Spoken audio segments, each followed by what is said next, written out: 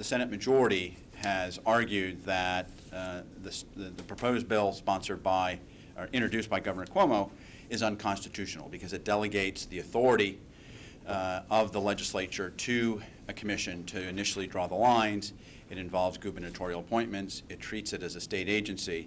And so we asked uh, Weil Gotshal to take a look at these issues raised by the Senate majority and to uh, address them in this legal memo, which is part of the uh, materials that we're distributing today.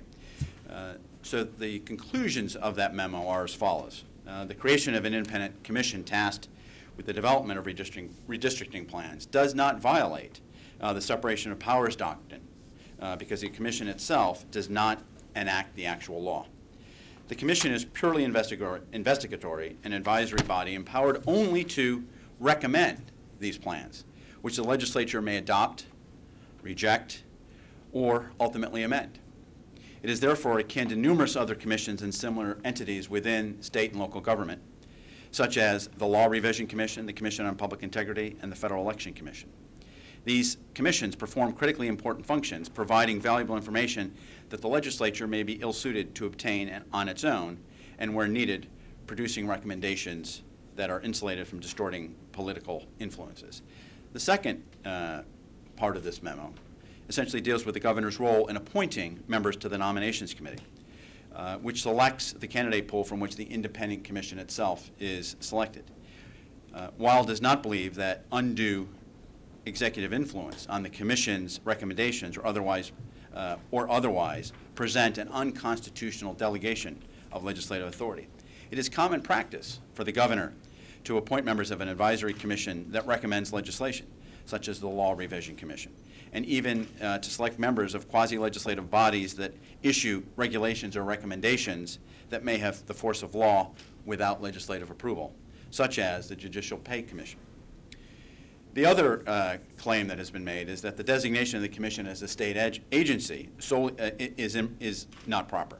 Uh, But we believe that the designation of this commission as a state agency is solely for the purposes of compliance with the public officers law and the executive law, and therefore raises no separation of powers concern. The applicable provisions sim- simply subject the commission's members and employees to certain professional restrictions, financial reporting requirements, and ethical rules, which is what we all want to see in government, uh, and that they in no way interfere with the commission's duties to the legislature and to the public in drawing these lines. Finally, the guidelines imposed on the legislature in amending the commission's redistricting plan do not run afoul of the separation of powers doctrine because these restrictions do not delegate legislate- legislative authority to any other entity. These provisions, if enacted, would simply articulate the policies which would, which would guide the redistricting process. And any future legislative action repealing these guidelines would notify the public that the legislature is departing from these significant policies affecting the public interest.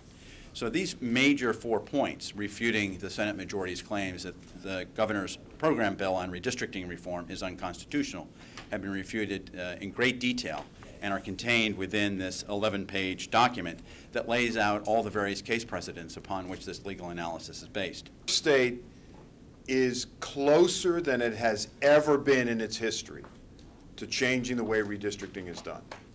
Uh, And as Barbara mentioned, uh, it's clear that the lines are currently rigged in New York to benefit the incumbents and the legislative majorities, and that could change if legislation is passed.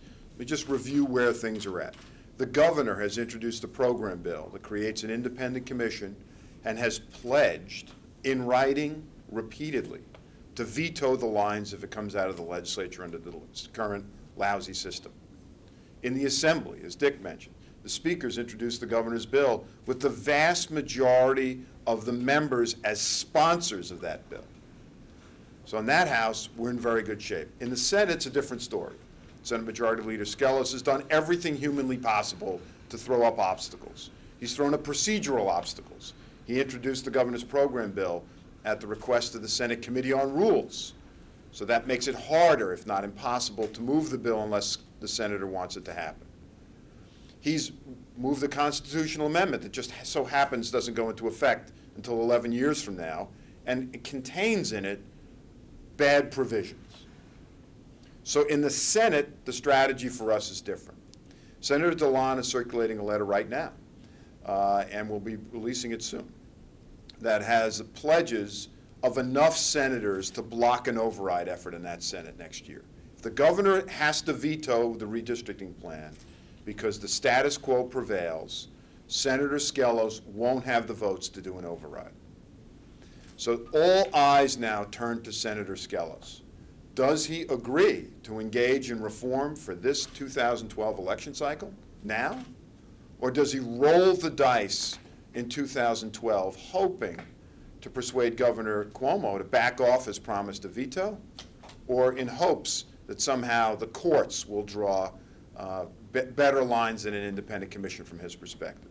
We think that's a gamble, that's a crazy gamble to take.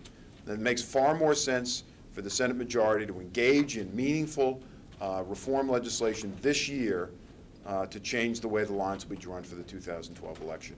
We are this close in New York.